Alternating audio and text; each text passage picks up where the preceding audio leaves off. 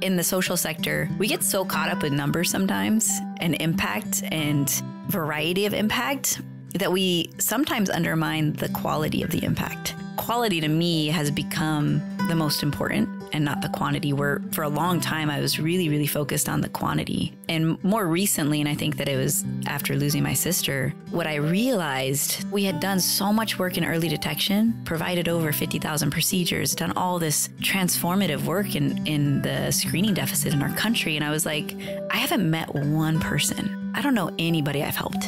I lost my sister breast cancer. Once you have that aha wake up moment, for me, it was more important than ever to know the people I was helping. And that's when Barbells Boobs transformed for me.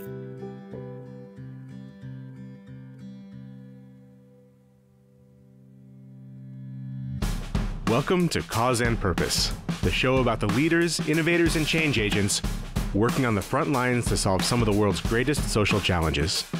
I'm Mike Spear, and today's guest is the founder and chief mission officer at Barbells for Boobs, Zionna Hanson.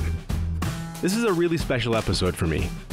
Z and I have been friends for many years. We've done webinars together, presented at conferences, and I've always admired her organization's rapid success and irreverent take on a cause that has more than its fair share of established brands.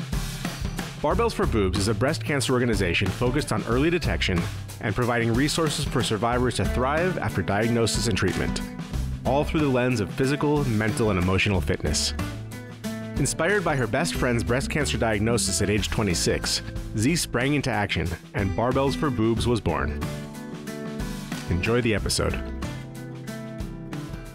So, I've been looking forward to this for a while just because we've spoken together before. We did a webinar, we did a thing at Dreamforce. Always love teaming up with you. I feel like we actually have a few things in common in terms of like how we got into the social sector. I think we both had a little bit of roundabout roundabout way. yeah. When I look at my own, you know, perspective on the social sector, you know, I have this white upper middle class, like average dude sort of that's how I entered the world. And I feel like you actually had the opposite experience. So I never asked you about this, but what was Z like as like a little girl? Like where did you get your start? We're starting from the beginning. oh my gosh. Okay. Uh... I, want, to know what little Z was like running around in Long Beach, was it? Oh, yes. I'm from Long Beach, California. So I have a really, I want to say, unique upbringing. And I think that we'll call it eclectic. So I grew up in the desert until I was about eight years old and had a pretty actually awesome childhood. Uh, my dad was the coach to all of our little league teams. Like there was five of us, so my mom is Mexican. Uh, my dad is white, but very soulful. So had a, had a little culture, lots of culture in him, you know, so a little swag. I know that my father's dream, he always says that if he could redo life, he wanted to be a college basketball coach. That's his passion was basketball. And I really think that he was striving to build his own basketball team with our little clan. Uh, so there's two boys, three girls, and I was I was the youngest for about five years. And then my little sister came along and basically ruined that for me. Damn her. Damn her, Sandra. and, you? you know, we were just kind of like desert rats, you know, just played in the dirt all day long and everything typical that you could think of of growing up in the desert is pretty much what it is. And then my dad decided to live his truth and left my mom uh, when I was eight years old, left her for a really close family friend. It definitely I think that that was a really pivotal time in my life. My dad had a, a really heavy drinking um, problem. My mom was a stay at home mom. I was really close with her, really typical childhood. And then that kind of just shocked us. And, you know, I'm sure very hard for my father to admit that he was in love with somebody else and ripped up our family. And I think that my mom just didn't know how to handle such heavy news and such heartbreak. My mom kind of went on a paths of uh, heroin and and drugs and just kind of disappeared and didn't want to be a part of our lives. And then my dad, with this new woman, um, she had three kids. And so he moved us all to Long Beach and it took him about a year to get us all. But I remember he asked us all, he came to visit us one day and he asked us all to write on a piece of paper who we wanted to stay with, mom or dad. And he wanted us to write it on a piece of paper because we were all so close. He, like he genuinely wanted to know where we wanted to be and not like raise our hand or not say I want to be with mom or dad. He was like write it down so I know where you want to be. And I was the only one that wrote my dad. And so I was um, shipped off to my dad by myself, and I lived with my dad without my other siblings for about a year. And they slowly trickled in and then after that my mom she was she was fighting for custody for all of us. And then eventually it was like oh i don't want z. I'll fight for the other kids. Um, and then it was like oh i don't want mike and charlene. I'll fight for sandra and vance. Um, and then eventually she just didn't show up for court. And so my dad won custody of all of us. And that's how we ended up in long beach. Wow Yeah, so grew up in in the on the west side of Long Beach with all of us five kids. Our stepmom had three kids. There was eight of us in a two bedroom house uh, that had a back house, and you know just got exposed to such cool stuff in Long Beach that the desert doesn't bring. Um, my brother was the quarterback for Long Beach Poly, uh, so while our complexion wasn't a normal complexion in the neighborhood, uh, even though my mom's Mexican, you know, you look at me, I'm I'm white with green you know, green eyes and blonde hair. Uh, she always said that people thought she was my nanny, but whatever. I am half Mexican. you know, so we had a lot of respect in the neighborhood because my brother was a quarterback. But it was definitely an interesting place to grow up.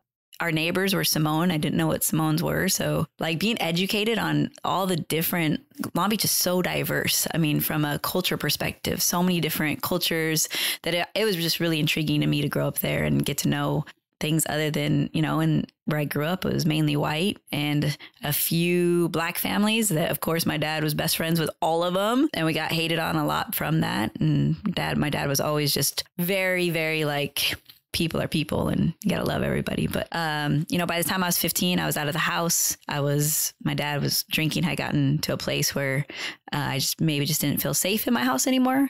And so um, I slept on my brother's couch.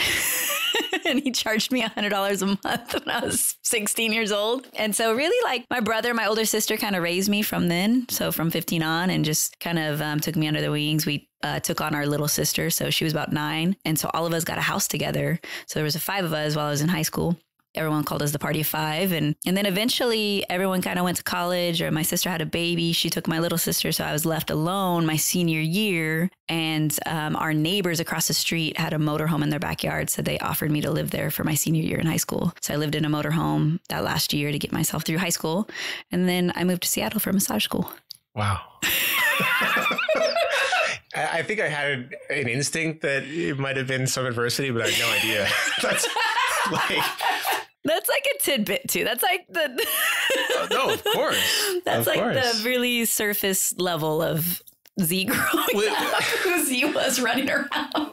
What do you think made the difference? I mean, I don't want to paint everyone with the same brush, but it would have been very easy to go down a negative path, mm-hmm. like in life. Like, what do you, what do you think about your personality or your your uh, the influence of adults and, and friends and family around you that, that like made the difference for you where you got yourself through high school and college? Uh, you know, I think that my older siblings were really influential uh, for me. My brother started his own landscaping company when he was 16. This is the best lesson in life this just should tell everyone where I come from and like really who raised me and how I turned out the way I did. So my oldest brother, kind of like a father figure to me at this point, I asked him I needed to borrow $2500. Someone crashed my car. Long story, I needed $2500 to get this other car that I had put a deposit down or else I'd lose the deposit. And so out of urgency, I asked my brother to borrow $2500. And he looked at me and he's like, "What are you doing on Saturday?" And I was like, "Oh, nothing." And he's like, okay, well, be ready at 6:30 a.m. and wear comfortable clothes. I said, okay, no problem. Got ready, and he had me go on one of his routes, his landscaping routes, and mow lawns. And so I mowed lawns all day. And it was the hardest, like, I can remember the pain to this day. Like, it was the hardest, laborious day of my life. And we got back home, and he wrote me a check for $2,500. And he said, I just wanted you to know how hard I work for my money. And I was like, wow that next day I went down to school or what that next Monday I went and got a school loan and I paid him back because I was like, I'd rather be in debt with the government than with you ever, ever again. I'm never borrowing money from you. wow. Wow. So I have good credit with my oldest brother. awesome. I, I, there's so many things that connect with what I know about barbells and how you work today. It's just this is, this is another area I think we connect is like there was no like direct career path for me to like the social sector. Like no. I, you know, I was in the film industry for a while. I did journalism. I was I played poker for a little bit. And then I, you know, discovered classing and that was kind of like mm-hmm. my turn into the sector. Like, what were some of the careers that you've had? I don't think anybody in the sector really has a direct path. I think now maybe more people are aware of the sector and going to school now for it. But, you know, you look back 20 years ago when I was getting out of high school, there wasn't like nonprofit wasn't this like, oh, go and I think that I always wanted to help people. The way I helped people in my career was uh, I went to massage school. So I knew I was going to have to put myself through college. And I knew my oldest brother was not going to help me. but you had such good credit. What are you talking about? I was also a pharmacy technician. So I went, I worked at a pharmacy from the time I was 14, like delivering medicine. And uh, so I became, a, I was a pharmacy tech, but I knew on a pharmacy tech salary, I wouldn't be able to afford college and work 40 hours a week. So I was like, what kind of job could I have where I could still help people maybe work 20 hours a week but make the same amount of money. And so massage was kind of like that answer. Um, and i was always fascinated with healing people. Like that was always my fascination. And so in pharmacy i kind of had this idea of okay you can give people medicine and then they feel better afterwards.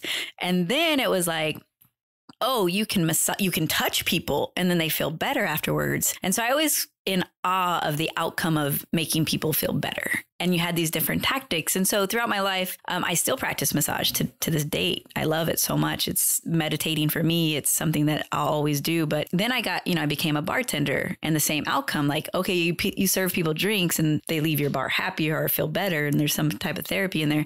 Little go go dancing in the middle of there somewhere. Probably where I got my first funding for Barbells for Boobs. Anyways, uh, more on that later. And then I found CrossFit.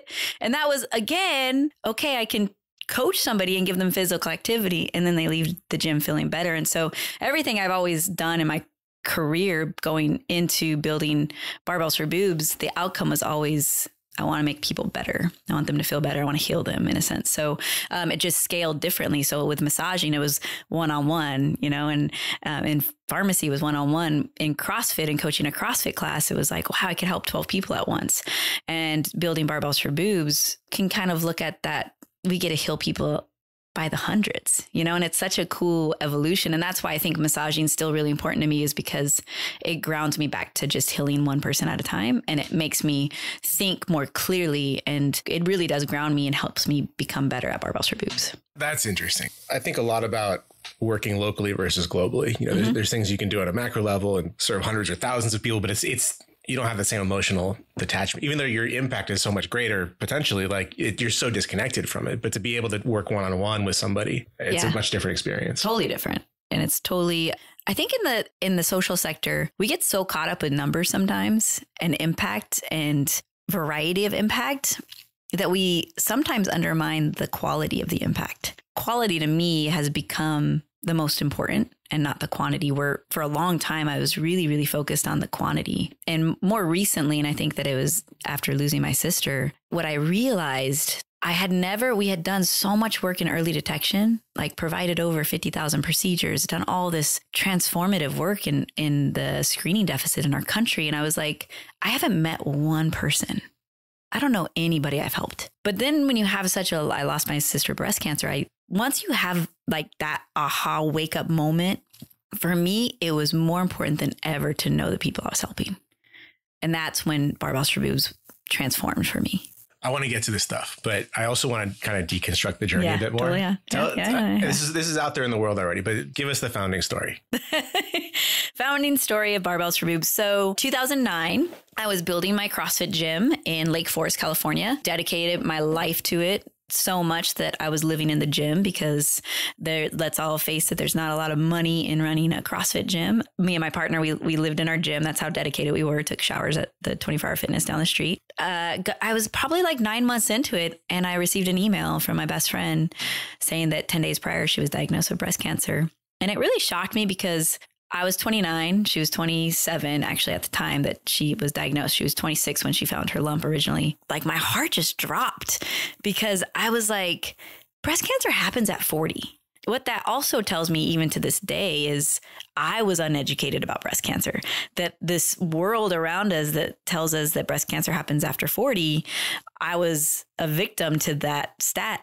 You know, breast cancer doesn't happen. And the unfortunate fact is one in eight women will be diagnosed with breast cancer in their lifetime, and 7% of those women will be under 40. And so my friend now was a part of this really small stat. I was shocked and not really knowing what to do to support her. I was like, okay, well, um, my community kind of came together and they're like, oh, like, let's do something. And so, you know, if this is a challenge, I want to kind of challenge myself. If Ceci can get through cancer and do all this stuff, I'm not only going to challenge myself, but I'm going to ask my friends and we're going to raise money and we're going to raise money for her. Uh, I told her what we were doing and she's like, that's awesome. Like, I'm not saying don't do a fundraiser, but I don't need the financial support. So we, we did this fundraiser and afterwards we went to a bar and uh, one of the participants was like, hey, we just did barbells for boobs. And I was like, what? what did you just say? He's like, we just did barbells for boobs. And something about it just clicked for me. And I said, do you mind if I use that? It's really where Barbells for Boobs was born. And, you know, I, we raised $2,000. We, I saw Greg Glassman, the founder of CrossFit the next week and he matched it. So we had $4,000 and my best friend Ceci didn't take it. She was like, go help other people. And that's the founding story. And so through her selflessness and through a few pitchers of beer, yeah, Barbells for Boobs was born that that week. so, that's an interesting moment for me because I, I knew the founding story. You know, I've known that story for years. I didn't realize that that first fundraiser was for Ceci was like for medical expenses or whatever mm-hmm. for her. Yeah. Where did you go from like just trying to support your friend to like, hey, this is something we want to turn into an organization potentially? The light bulb moment for me, I actually had a few in the very beginning. Number one, it was Ceci's ask for me to help others. So that was kind of like, okay, well, I have to do something serious with this $4,000. So I started doing some research and I found um, there was a lot of gaps in the screening process for young women, just in our country in general. And so I was kind of amazed by that in a way. And the other thing was at that time, one of my coaches in my gym, her cousin was a freelance photographer and found a lump on her breast. And she was like 32 and couldn't afford the services. She couldn't afford the biopsy. It was like that was like a sign from the universe. Uh, her screening was the first screening we paid for, and our board actually paid for that because we utilized the first four thousand dollars to get our nonprofit status and hired an attorney. We did it all correctly, and so we didn't have any money left after that. And I was like, "All right, we did it. we have no money in the bank now. How do we do this? Like, what do we do?" Um, we did it. That's, we have a nonprofit. Awesome. Now what? Uh, and so our board kind of put some money together, and um, and and the craziest part was we called the center where she was getting the screening and they were willing to negotiate with us because we were a nonprofit where they wouldn't negotiate with the patient and and that was another like what is wrong with the system like why can't you can't why can't you just help people and the entire board just chipped in and paid for it and so that was a really big that was the aha moment of oh wow like this is a problem and Ceci's not the only story. And Ceci had insurance, so she didn't actually have a problem. I was just Ceci's the the the fire for me on Ceci's story was when she went in originally for her screening six months prior. They denied her screening, saying she was too young, and that was really what set me off to say, "Well, what's happening with young women? Why are they rejecting young women? Like you went in with a lump, and they told you you were too young for a screening, and then didn't give you a screening. like what, what is this? Like I felt like our healthcare system failed her. And I, at the same time, am working in this very proactive way. And my life's journey has been helping people and healing them. Isn't that what our healthcare system is supposed to do? And why didn't they do that? So, um, yeah, there was a few aha moments in that time. I, I, do think that's where some of the best organizations come from is that like the personal experience of firsthand experience with this. There's something not right or harder. And then how do I solve that? Oh yeah, you're a problem fixer. That's like you're a problem solver as in the nonprofit sector. Like you're just um, that's all you're doing. You're seeing problems and you're doing your best to articulate a solution. I know Barbells has evolved a lot over the years, but what was the primary mission? Like the, the, first, like this is what Barbells is today when we start. For me, it was ensuring that everyone had a right to know that they were living with breast cancer. So that idea that my friend was had breast cancer and she didn't know, and so uh, that's what really we set forth was um, ensuring that regardless of your age, gender, creed, insurance status, that you could get screening and get access to, to an early detection screening. Peer-to-peer fundraising now is more or less mainstream but uh, at that time barbells for boobs that first event was basically peer-to-peer fundraising in 2010 crossfit picked up my story and kind of shared it with the community and after they shared it everyone came out came up to me I was reaching out to us and was like, how do we get involved? How do we get involved? And I didn't know what peer to peer fundraising was at that time. And everyone was giving us $35 because they wanted the Barbells for Boobs shirt. And we had, I think, the first year, 5,000 people register. We raised like $300,000. I was like, wow, what did I just, you know, like, what is this? So then you have the funds. And then I was completely lost. I was like, and then what do I do? I was like, oh, now what? Wow. And that's when people ask me when that are like want to start a nonprofit and they're like, what's what's your first piece of advice? Have a plan. know the problem. Make sure no one else is trying to solve that problem. If you find somebody trying to solve that problem, call them. See how you can help them solve the problem. If no one in the world is solving this one problem, have a plan before you ask for money. you raised the four grand, you spent the four grand, you're out of money. Now you've got 300. It's like, what do we do? So, but those were all small donors. Those were all 30 $35 $35 gifts. That really brings, that brings me to the, the core of what I'm getting at here is like, you've made most of your revenue, especially in the early days, off of those small donations. Mm-hmm. What has that meant for the growth of the organization to have that broader base of support, all the sort of human capital, the community aspect to it? And how did you engage with those people and thank them with like a tiny team in a way that like made sense and they wanted to like stick around and be a part of it. So it's so important to have, I feel, that type of funding where if you lost a donor, it doesn't you know collapse any of your programs um, so we've been really fortunate to have a consistent uh, database of really great you know small givers a large amount of small givers and that was the first year i was in such shock that so many people felt my fire in the story of Ceci and knew that she was done wrong, right? And so it was like that idea that you guys just heard my Ceci story and then we also pushed out a video and this is where like marketing marketing your story telling your story is so important i give a, a lot of credit to the crossfit community because if it wasn't for the crossfit community it wouldn't have reached so many people overnight so the minute that crossfit released our story, I think it was October 8th, 2010. Overnight, we raised like $62,000. Oh, wow. And then I had like 2,132 emails in my inbox. It went from a, I was grinding and I was fighting and advocating to like, wow, people are just as angry as me. And like people believe in this problem. And I have now an army that wants to support this problem. And so that to me was just like, how do I thank these people? Oh my God, Sally in Texas that's like emailing me every two weeks. And so the only tangible way I thought about helping people or thanking them was meeting them. And so the next year we set off and did a tour across the country and go to, we went and visited as many people, as many CrossFit gyms as we could in 30 days. I think we hit like 23 gyms all the way across the country. And that wasn't a fundraising thing. That was literally to go thank all the donors. I just wanted to thank everybody. Yeah. That's incredible. It was. What was the response to that? Incredible. Still to this day, people are, when is the tour coming back? and it grew. You know, the first year it was, we rented a Sprinter van. I don't think we ate for a few days, you know, like, but we brought a DJ and, you know, I was like, I just want to have a party and have fun and like make this ugly thing that we're trying to fix fun and and along the way you meet survivors you meet people that have been impacted by breast cancer and they're sharing their stories but we just try to make it the funnest livest thing that was happening in october. And so we did the tour i think six more years to a point where we had motorhomes and you know people were so amped when the motorhome showed up. You started to mention marketing which mm-hmm. is always overlooked in the social sector for better for worse uh, some organizations don't need to worry about it, but in general, I think it's a very undervalued thing. Um, you've you've always been great at marketing, and in particular, I felt the brand has always been very strong. Breast cancer is one of those things where, at least as an outsider, I guess to me, it seems like it's very saturated with organizations trying to impact that cause in whatever their way is.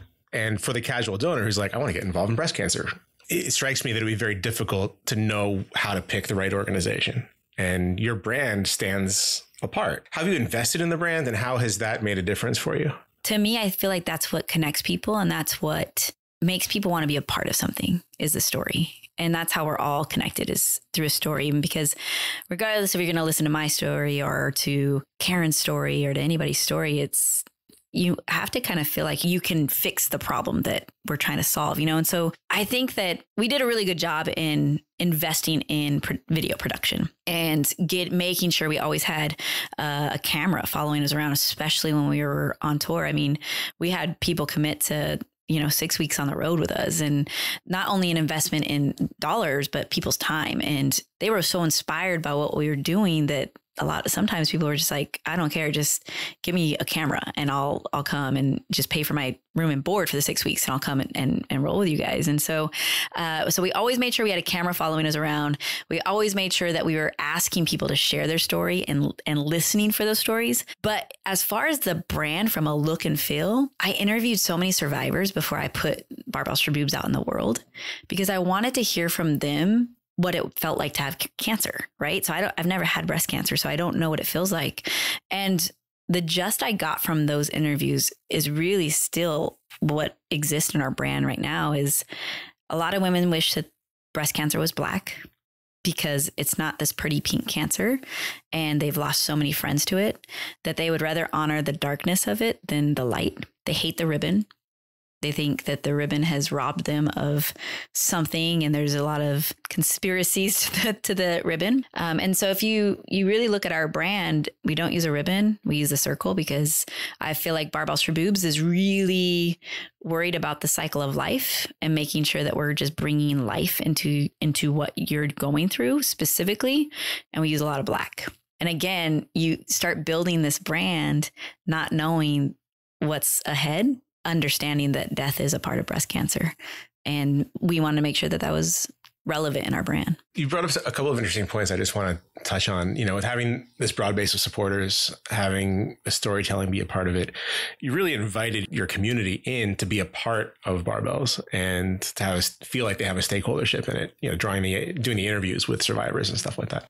And I've also noticed that on your website now you can download the color schemes, download mm-hmm. the pictures. Like how was it, what do you play with, with with preserving like the integrity of the brand that you've established versus like giving it up for others to use and be a part of and make it their own? Honestly, for us it was more about I'd rather give permission and let more people share their story of barbells for boobs than protect it because we protect it in a way of we are very conservative on who we work with and who we partner with at a headquarter level. But how the community wants to represent Barbells for Boobs is up to them. Like I tell owners that all the time. I'm like, you hosting a Barbells for Boobs event in your community, I honestly don't care what it looks like.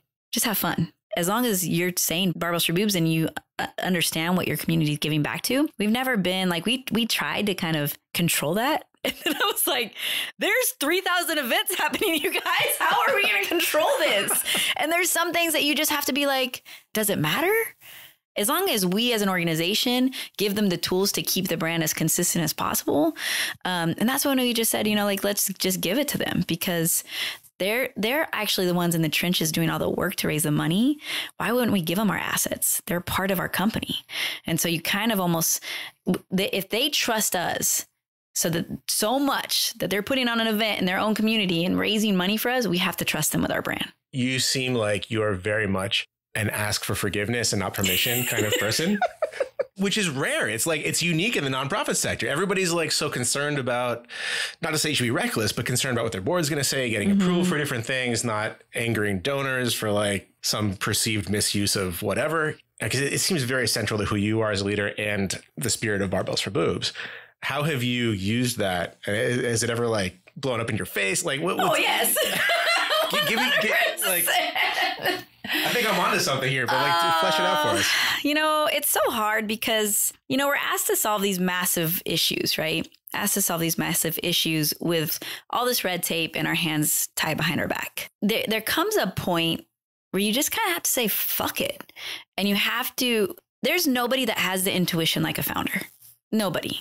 I've asked for forgiveness and it's been where I had so much belief and vision that I was like, Z, this matters so much that if in the out if the outcome is they kick you off of barbells for boobs, it's worth it. Honestly, here's how I make decisions. This is honestly the secret to Z's decision making. Would Ceci be mad at me? Would, would it make Ceci proud? Would Ceci be proud with this? And if I can go to sleep and say, could I tell Ceci and would she be proud of this? then I make the decision. Probably not the most strategic. I'm not advising this to everybody, but but when you say when you take risks and you have to like think about your board and what you need to bring to your board's light and what do you not and at the I've I've been very lucky to have some board chairs where they're like Z as long as you're hitting your numbers I don't care how you get there do what you need to do to hit those numbers um, and so I think that that's when I was the most innovative uh, innovative leader was when I had a board chair that was like, I trust you. I trust you're not going to make a decision that's going to compromise the organization. Sometimes you might have to think abstractly and need to ask me for something, go ahead and ask me, but I trust you to do the right thing. And so I think at the end, if you can say I did the right thing, then I'm okay with it. Well, I'm okay with the decision.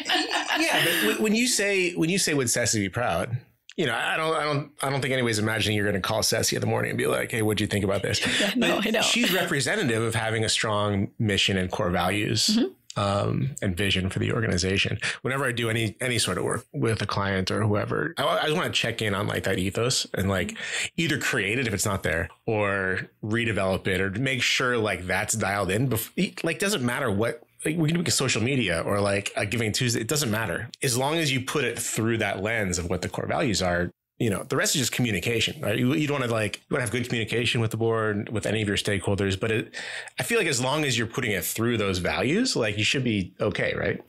Hundred percent. And and honestly, Ceci, uh, you've now kind of had a, a little sneak peek in in my upbringing, and Ceci was very integral in my my upbringing and was the one friend that really taught me what unconditional love was. And people always ask me like, what's the most proud thing that Barbells for Boobs is that they, like, what's, what are you most proud of of Barbells for Boobs? And the thing I'm most proud of is that Ceci's still my best friend. Mm. 11 years later, like that's still my ride or die. And like, I, so I haven't lost the vision of Ceci and what she represents in my life and the gift that she gave me, which was unconditional love. And so I just try to pay that forward to everyone. Barbells for Boobs has been tied to CrossFit since the outset. Have you felt any pressure to grow beyond that? A little bit, yeah. Um, I, I, think that that's the challenge of Barbells for Boobs. You know, I've, I've had a lot of pressure to change the name. I've had a lot of pressure to expand out of CrossFit. And, and I think that what I've learned the most is I don't really care about that. I did for a while, and I and I did in the very beginning of this idea of grow, grow, grow, get bigger, more more impact, impact, impact, grow the numbers because we were growing at such a rapid pace for years, six years. We were doubling our revenue every single year. And so having that pressure every year to double, and then the year you don't and you drop, it's like, oh, failure. I, I was so hard on myself that you kind of lose why you start because you're now so worried about the numbers that I don't care anymore about. I care about again the quality now. And um, right now we're we're serving 200 women pretty much every day. I mean, our women are we're so we're, we're probably engaged with our the women we serve probably about 20% of them every single day right now. I guess I don't not that I don't care about growing, but I care about staying true to what it is that we do and staying in our lane and not trying to be something that we're not. Yeah. And so if we can replicate what we're doing in cycling and have a full on community and support and coaching and and programming. And now that we're what we're doing in breast cancer because it's obviously evolved we haven't gotten there yet. Uh, it's obviously evolved but you know what we're doing today in breast cancer i think that it could be replicated in different communities and different fitness communities. And we'll see in the next decade how we can copy and paste I've seen a trend where innovative organizations begin with one issue, like early screenings and the right to know, and then evolve, primarily to add resources around the core mission to ensure program success. In many ways, this forces them to redefine who they are as an organization. Tell us about the RAD program. Uh, yeah, so the RAD program it stands for Resources After Diagnosis, um, and the mission of the RAD program is to provide the tools to women impacted by breast cancer to move daily. And so, uh, a few things happened at Barbells for Boobs uh, in order for the RAD program to really be born. Uh, so we were doing the Right to Know program, which was providing funding for early detection services. We were doing this at a national level. We had, you know, funding in 23 states. Uh, we had a partnership with Avon Foundation. All this amazing stuff because we, you know, we've always been a small team, very grassroots team. I don't know if anybody knows this, but the Avon Foundation dissolved in 2017. And so you're talking about a $40 million machine that we were partnered with that could mobilize our funding really easily and save us a lot of time and resources was gone. And so we didn't have this big partner anymore in that space. And then also we were we were kind of at the same time seeing some impact from the Affordable Care Act where now people are mandated to have insurance. So now that the problem wasn't I don't have insurance. The problem was I don't have enough money for my deductible. So there's there was still obviously huge screening deficits. Um, but when we were granting money to a to a clinic or to a hospital and they couldn't utilize our, funding was almost working like as an insurancer. And so they would use now this co- person has insurance, now they have a deductible. Well, we can't pay the deductible. We have to pay the medical provider, not the person. So long story short was we started seeing refunds come back from our grants. And my board was like, "Hey Z, if everyone has insurance, do we still exist? Can you solve that problem?" And so that was on my mind.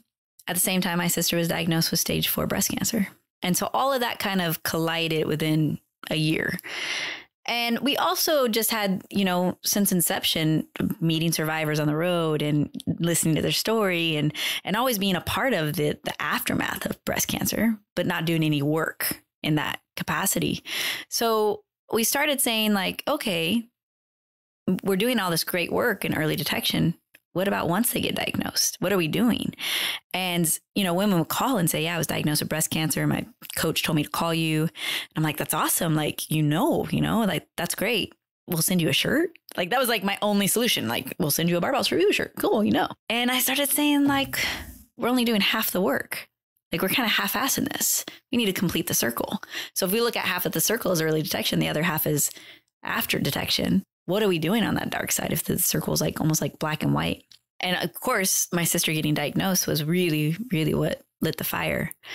And so my sister was 43, just diagnosed too late, uh, had already spread to her bones and her lungs. And so I just was getting to a place where I was like, this is, I, I went actually to the, to the, the president of Avon Foundation at the time. And this is when I found out that they were dissolving.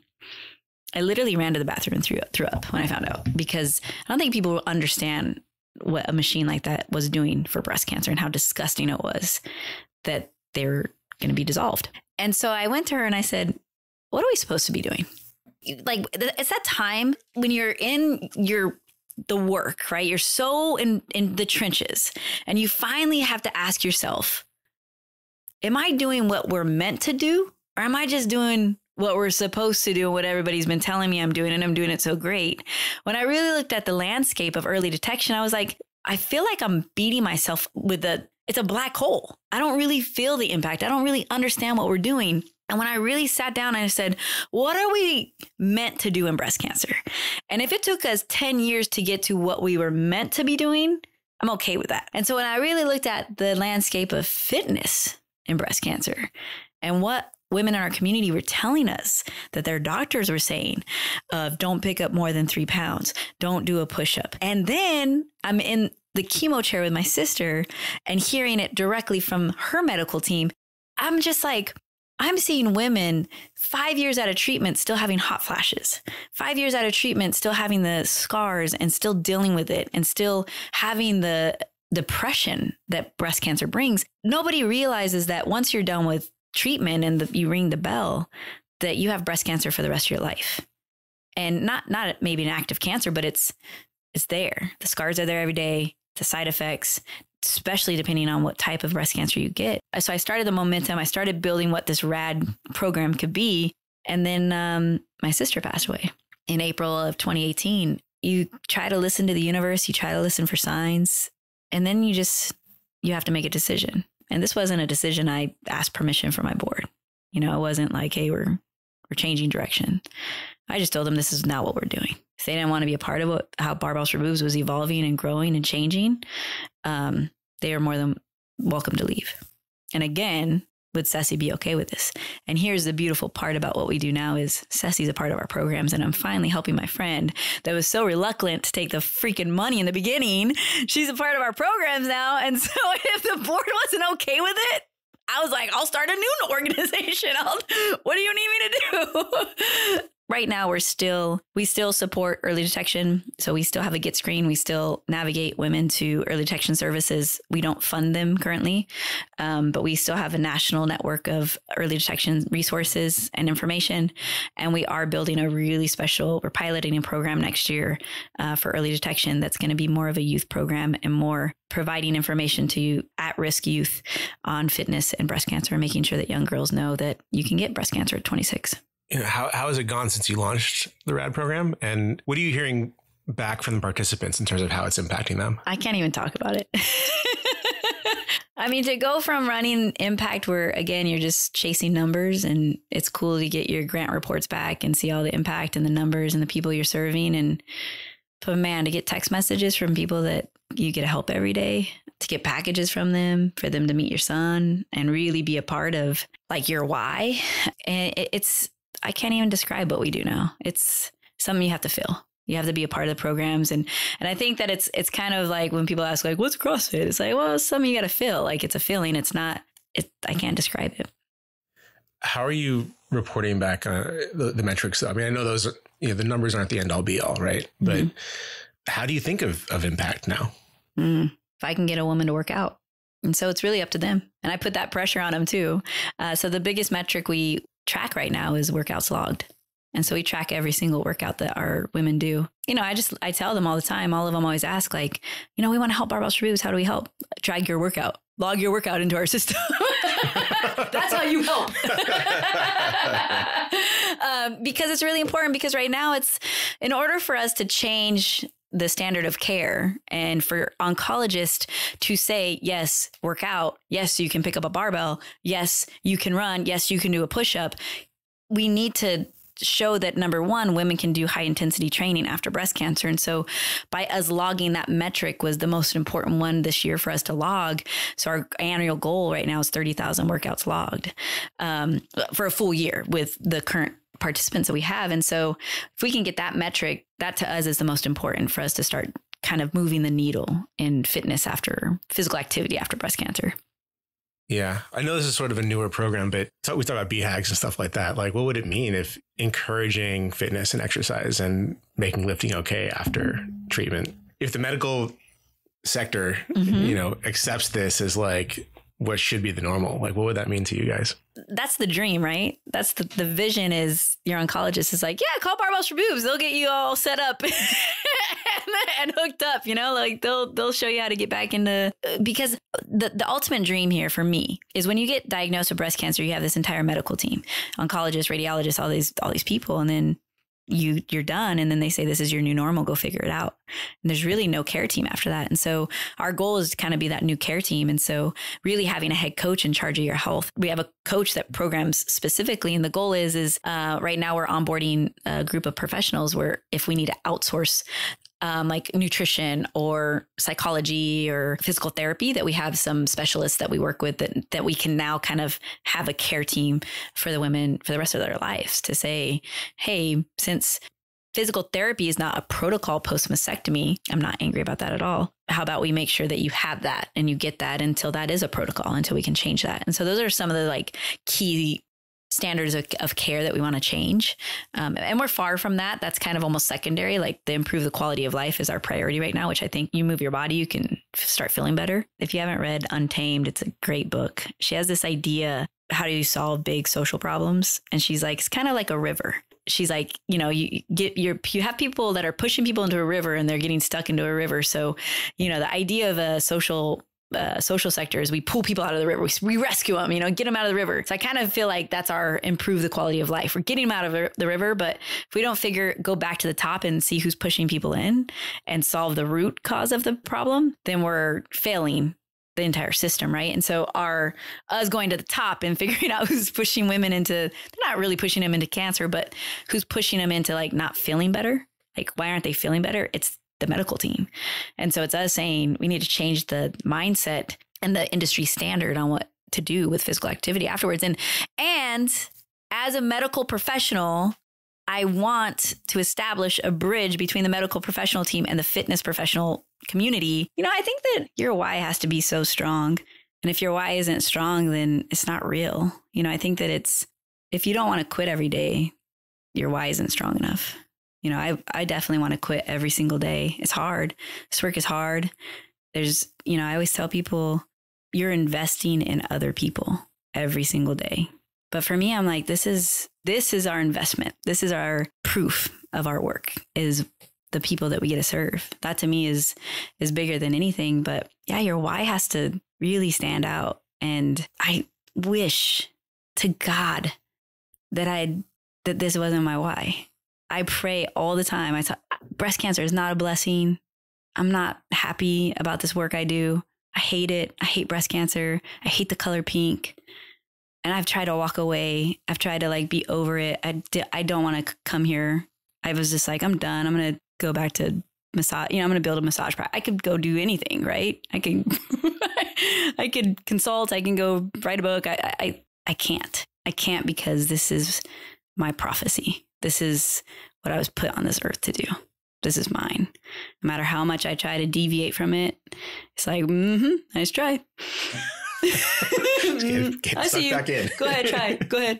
Don't worry. And and that's true because I, you know, I resigned as the CEO after my sister passed away, and and I was having a rough day, and I one day I just decided to leave the board, and um, I was building a, my massage practice, and my first patient was a breast cancer survivor that morning. Wow. And I think that it's it's kind of like this thing where like you just have to listen to the universe as much as you want to have your own life and do your own thing as much as I in my head I'm like, I'll just go build my own practice, my own wellness center, and yeah, dun, dun, dun, maybe I'll give free free treatment to breast cancer survivors. You know, yeah. like the, in my own little cuckoo head, that's what I think because because it's hard to run an organization, and um, people don't realize that it's not about just raising money. It's building a team, building a culture, um, building trust continuing to do it year over year and coming up with a new strategy year over year so that you get that $50 donor every single year that's a, it's a challenge. And i think the only resiliency is you have to be meant to do this. There's literally this is like i've got to find i found my calling at the age of 29 through trauma and devastation. And my only job is to bring light in this world. And for whatever reason i have no idea. I hope to find out soon it's through breast cancer. And I've just accepted it. And I'm here. what do you want today? I'm here. now what? Shouting into the wind. Yeah. What, but I mean, you're you're still so positive and lit up and energized about this stuff. Like, what what are the little bright spots, like the things that happen in the course of your work that really just keep you energized and, and keep moving? Oh man, my team, the people I get to work with, the people I surround myself with. Um, they're just awesome. My son, you know, my son knows what breast cancer is. He's eight and he's autistic, you know, and he works out with our survivors every day and teaching my son that, you know, about my work and about women and women's health. Uh, that's probably the best part of my day.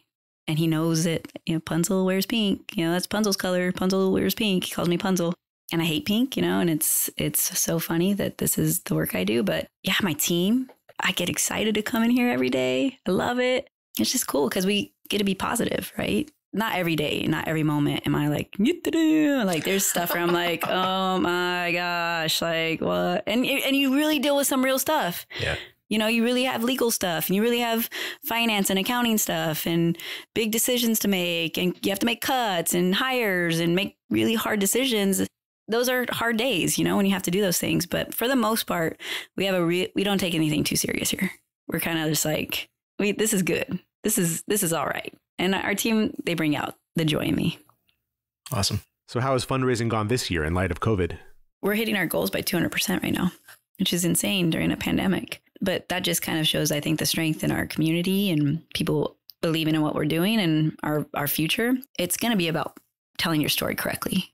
And we haven't told this this full story of Barbell Street I haven't shared my sister's story. I haven't shared kind of the evolution and the cycle of why we're doing what we're doing now. And so I think it'll be time next year for us to really dig in and invest in a really bigger story, uh, a way that we can really share the projections of our work um, and really the impact of our work and what it's doing. We really will now have a full year of true impact from our RAD program. And uh, we're getting just amazing testimonials right now, a lot of qualitative work happening here.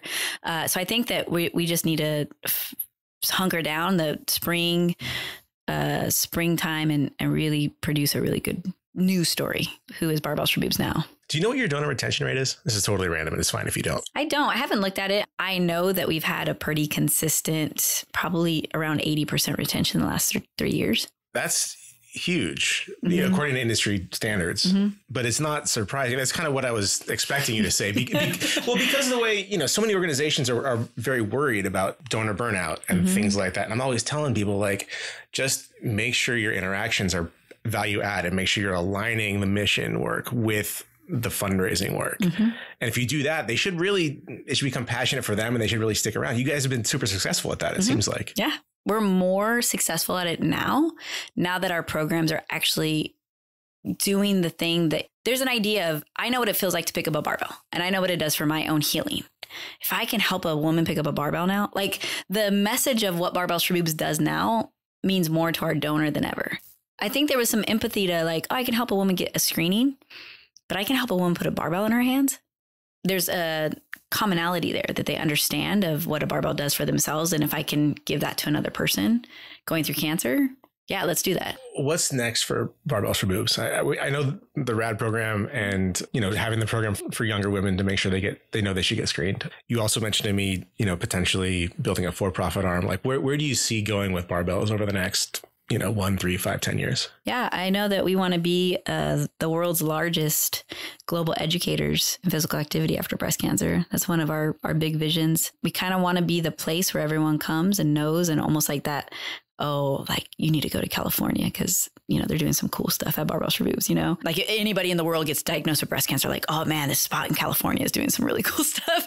But, you know, I think that we, we had a kind of, this, this year's been, made you question your vision big time because you're set on this path and you think that you're doing these great things. And then you realize there's a lot of problems still in our country when it comes to race, privilege, you know, all that stuff. And so, you know, we were challenged during a lot of that stuff, you know, after after Mr. Floyd and the civil unrest that happened this past year. Uh, we were definitely kind of question our diversity rate within our community and how are we reaching more women of color? And that really kind of started me saying how do i especially coming I'm, I'm from the neighborhood you know so i take that stuff to heart. We are moving barbells for boobs to the neighborhood i grew up in.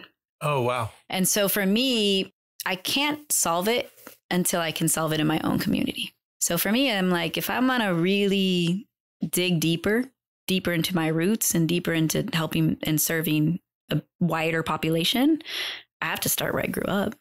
I have to know what's happening with my community. And I want to show little girls in my community you can come from here and, and do great things and build great things and do good. Uh, that it doesn't, it's not all ugly. It's, this isn't the end of the life of your life. There's there's hope here, um, and so that's that's one of my big initiatives. Again, one I'm probably not going to ask. I'm going to ask for forgiveness. We're moving Beach, everyone. West Side. Um, but again, I'm like, Ceci would be so proud of that because we're both from the West Side. we're both West Side girls, and and you know I grew up in a neighborhood where there's not a Starbucks, there's not a Target, there's not. It's not a neighborhood where companies go in and invest their their their money or invest their their product in. And so I want to bring this to my neighborhood first and and really start digging deeper into that that topic. And Black women have the highest mortality rate in breast cancer. And not to say that I'm going to solve that problem, but I think that physical activity can really support after diagnosis uh, wellness, you know? And so, uh, and, and with that, doing a for profit side to where the community can come and be a part of it. And, you know, for if we have end up having uh, different modalities of uh, wellness so not only a gym but maybe like a wellness center with different modalities acupuncture and massage therapy and all my roots stuff maybe i'll have a bar there and i'll be slinging some drinks i don't know um, but i want an entire like the campus you know where it's in the hood and uh, we're really talking to people that are are struggling in that capacity and and where i'm from there's a lot of people where I grew up and they've made it out and they've been successful. And I hope that we can have a really good, big community that supports it of people that want to give back to the neighborhood I grew up in. So that's kind of like forefront because my rad, our rad program is just rolling. It's going to just organically grow. You kind of just, sometimes you have to just let it do what it's going to do. Can't control it too much, you know?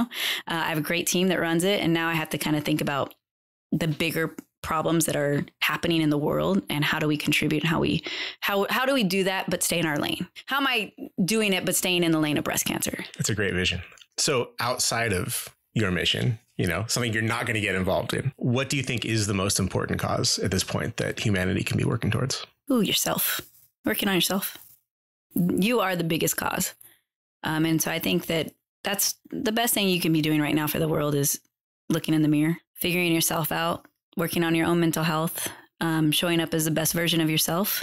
I think that the more that people can work on themselves and being better human beings, the world would be better. You sort of expressed how breast cancer sort of found you, you know, and, and you saw this need and you took action on it. What advice would you give to other potential founders of organizations when they see something that they want to change? How, how do they spring into action the way you did? don't do it. No, Stop. Just go back to bed. Be careful. It's not, it's not, the grass is not greener. For me, I think that I always tell people like, figure out what you want to do. Understand the problem you want to solve because that's really what it is. You know, I've been contacted by so many people of things they want to do and understand the problem and and see is there anyone fixing it already? And if they are, you're better off collaborating. I'm a huge fan of collaboration than trying to rebuild it. And, and I think that there's a, enough nonprofits in the world, there's enough organizations in the social sector. I don't think that there's some problem that hasn't been thought about of being solved. And not to say that we can't be innovative and do our own thing. And I, I definitely want to advocate for that. But saving time and saving people's energy and dollars, figure out if there's somebody already doing it and go talk to them. Like, you don't even want to talk to me as a nonprofit. I guess I would consider myself a master of nonprofits now, not really fail every day sometimes. But go talk to the person that's doing the thing that you want to do or kind that kind of looks like the thing that you want to do. Email them, like call them, do something and reach out to them and talk to them. That's what I would say. Don't do it.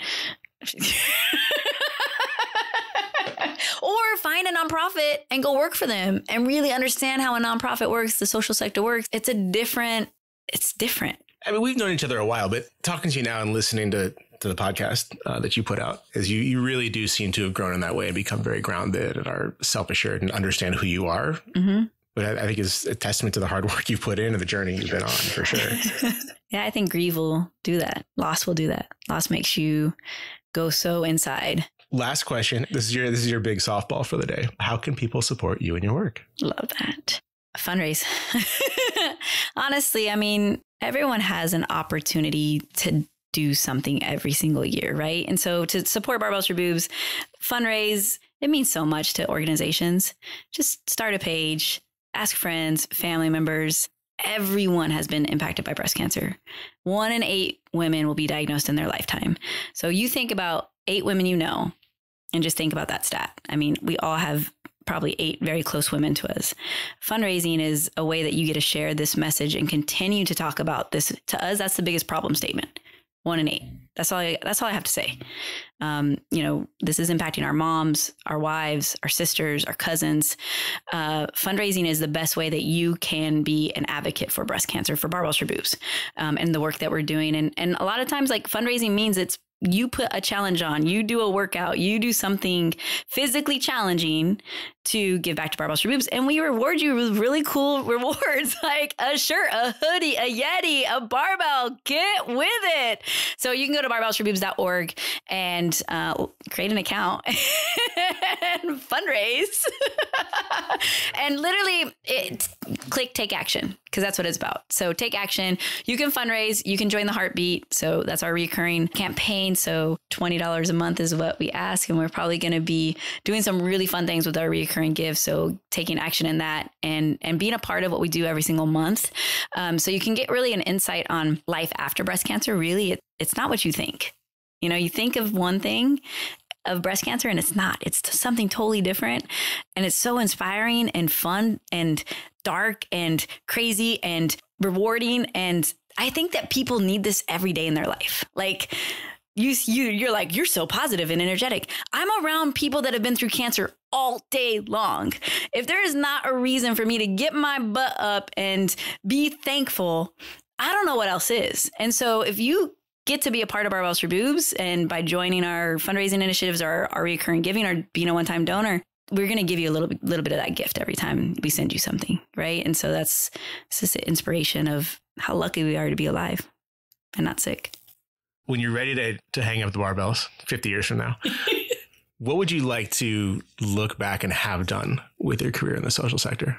What would you like to have accomplished at that point? Oh, I think that the the thing that would be that I would consider the biggest accomplishment, let's say on my deathbed, is that Barbells for Boobs is still around and still doing great work and still helping women every day. Because it, this work is so hard, it's so easy to fail one year and you're out, to fail one month and you can be out in the social sector, to create a legacy and make sure that it's still there and it's still intact on my deathbed. That would be an accomplishment. Anything else you want to add or anything I should have asked? You know, sometimes I, I leave out the storyline on think people their hearts drop.